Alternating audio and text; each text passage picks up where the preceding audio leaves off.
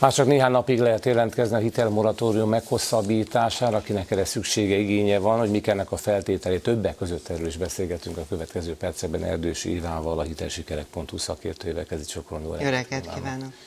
Nos, kiket érint ez leginkább, és mit javasol? Hosszabbítsanak, ne hosszabbítsanak, emeljék a törlesztőrészetet, vagy milyen módon tudják elejét venni annak, hogy a hírek szerint akár 40%-kal is többet fizethetnek, akik hát esetleg nem élnek ezzel a lehetőséggel, vagy akik élnek, és a későbbiekben majd többet kell fizetni. Igen, tehát ugye erről a dologról már többször beszélgettünk. Én most is azt tudom javasolni, hogy mindenki a saját élethelyzetének megfelelően döntse el azt, hogy tud fizetni vagy nem tud. Akinek belefér a háztartási eh, kiadásaiba az, hogy a törlesztés újra elkezdje, mert stabilan tudja vállalni, azt mindenféleképpen meg kell kezdeni. A mostani moratórium az egyesen különbözik az eddigiektől, hiszen eddig automatikus volt. Most ugye ebben a hónapban lehet igényelni, ez van egy formanyomtatvány, nyomtatvány, amit ki kell tölteni a bankba, és személyesen le kell adni.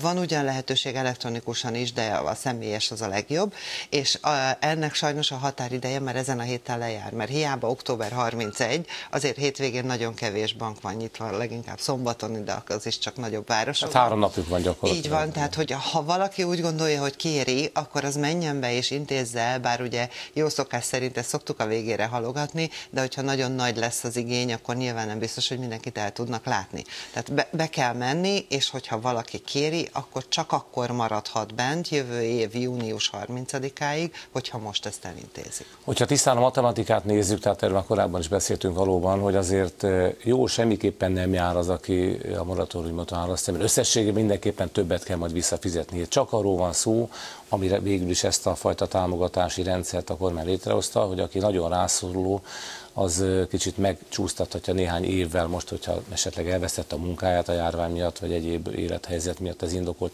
Egyébként azt vizsgálják hogy indokolt-e vagy sem, és milyen mértékű jövedelem kiesés indokolhatja ezt, vagy ezt mindenki maga dönti el, hogy kérje vagy nem? Hát erről nyilatkozni kell, hogy a bevételeim azok ö, csökkentek. Tehát ez, ez kell bizonyítani is, vagy csak e, nyilatkozni? E, egyelőre csak nyilatkozni, de nyilvánvalóan ez egy olyan kategória, amit bármikor lehet ellenőrizni. Nem is célszerű azt mondani, hogy egyébként nekem minden rendben van, és akkor vállalok egy plusz terhet. Tehát ugye nagyon sokan, az MM, bár a törvényben nincsen benne, de az MNB nyilatkozott arról, hogy ha valaki szeretné most folytatni a moratóriumot, és nem csak az adott azt a törlesztő részletet fizetni, amit neki kellene, hanem vállal egy emelt részletet, vagy kérhet a bankjától egy másik hitelt, amit ezzel kivált, mert hogy az olcsóbb lesz. Mert azt ne felejtsük el, hogyha valakinek változó kamatozású a hitele. Az nem jelenti azt, hogy ugyanazzal a törlesztő részlettel folytatja, hiszen mivel a kamatok folyamatosan, a jegybanki alapkamat is folyamatosan emelkedik, így a változó kamatozás miatt az ő hitelének a kamata is emelkedik. Ez nem, hogy nem jelenti azt, hanem biztos, hogy azt jelenti, hogy változni fog, hiszen így van, is benne van. van. És ez várhatóan nem lefelem fölfele, ugye a jelenlegi megy, és többet kell törleszteni, tehát ne arra számít.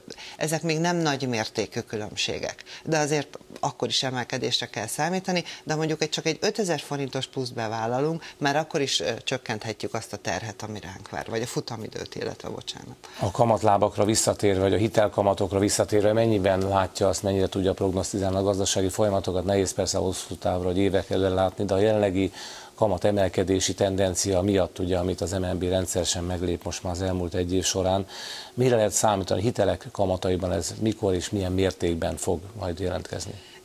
Hát ha, ha, én mindig azt javaslom, hogy józan paraszt észre gondoljunk ebbe bele. Mindenki látja, hogy a benzinárak hol tartanak. Egyébként a, a különböző élelmiszerárak hol tartanak. Tehát igenis magas az infláció. Ennek az egyik kezelési módja az, hogy a jegybanki alapkamatot növeli. Az MNB nem véletlenül van erre már tendencia, és ez valószínűleg folytatódni is Ez fog. láthatóan nem, vagy nem azonnal jelentkezett a hitelkamatokban. Ez nem, köszönhető, és meddig csúszhat?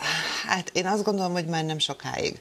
E, nyilvánvalóan fontos az új hitelek hiteleknek a kihelyezése. De azzal, hogy most megáll a moratórium, azzal, hogy majd nyilván a jövő év az egy politikától hangos év lesz, de a várakozások azok, azok felerősödtek. Én azt gondolom, hogy jövő júniusig még olyan nagy változás nem történik. Akkor attól függően, hogy mi zajlik a politikában, ez hatással lesz a gazdaságra is. Én azt mondom, hogy csak az vegyen föl hitelt, akinek tényleg szüksége van rá, és tényleg tudja majd azt fizetni. Tehát továbbra is ugye intő jelleggel ugyebár amíg kint ültem is volt legalább két reklám, ami arról szólt, hogy vegyünk föl hiteleket, tehát mindenkit a gondolkodásra ösztönöznék. Van azért jó hírünk is a hitelekkel kapcsolatban, ugye éppen e hónap elején, október 4-től vezették be ezt az újfajta zöld hitel felvételi lehetőséget, ami ugye kifejezetten energiatakarékos BB minősítésű lakásokra, házakra vonatkozik, vonatkozhat és ennél maximálva van két és fél százalékban. Ez nagyon fontos tudni azt is, hogy nem feltétlenül jelent ez két és fél százalékot sem, ugye, mert az MNB nulla százalékon adja a bankoknak, a bankokon múlik, hogy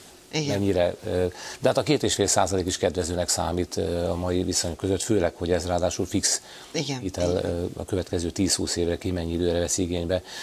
Hogyan látja, hogy ez mennyiben befolyásolhatja majd a, a hitelpiacot, illetve ez mindenki számára elérhető lesz-e, vagy milyen követelmények vannak, akár jövedelmi, akár más szempontból? Hát ugye itt a határa, a felvehető hitel nagysága is igen magas. De ebből az következik, hogy magas, a törlesztő, igen, magas lesz a törlesztő részlet is. A jövedelemvizsgálat ugyanúgy kötelező. Tehát kvázi ez a hitel azoknak lesz jó, akik viszonylag magas jövedelemmel rendelkeznek, azok tudják megvásárolni majd ezeket a jó minőségű. Bocsánat, belészem a táblázatban, 6-700 ezer fontos jövedelem az, ami 25 évre a 70 milliót maximálisan gyorsan lehetővé Igen, teszi. Én ezeket a számokat ki se akartam mondani, uh-huh. mert, mert ugye minden afelé mutat, hogy azokat támogatjuk továbbra is, akik egyébként nem Azért szorulnának erre rá. Igen. Tehát, hogy én ezt az egész politikával, a lakhatási politikával nem nagyon értek együtt, ezzel a szemléletformálással nem fog, nagyon fogunk előre jutni. Tehát azoknak kellene segíteni, akiknek nincs lehetőségük megvásárolni ilyen típusú ingatlanokat, de erre most jelen pillanatban még nincs Hát ráadásul ez még csak a gyermekvállaláshoz sem köti feltétlenül hitel igénybe nem, de gyermeket tényleg azok vállaljanak, akik föl is tudják őket nevelni. Tehát a gyermekvállalásra ne egy ilyen gyárként gondolkozzunk, azt gondolom bármennyire is szükségesek eh, annak, hogy, hogy a jövőnk biztosítva legyen. Tehát ez is sok mindenben lehetne erről vitatkozni, amire nincs most időnk. Igen, tehát azt mondja a kormány, erre ott van a csok, mármint a gyermekvállalás segítendő, és az zöld hitelek pedig arra vannak, hogy a környezet kímélő beruházásokat támogassák. Igen, de a csok is egy egyszerű hozzájárulás. Egy gyermeket fölnevelni nem akkor annyi pénzre van szükség hosszabb távú projekt. Igen, tehát az nem olyan, hogy holnap után már még Általában hitelvállás, az is egy hosszú távú projekt, legyenek felelősek, gondolkodjanak a elhangzottak alapján továbbiakban. Erdős Köszönöm szépen, hogy itt volt. És Én is köszönöm.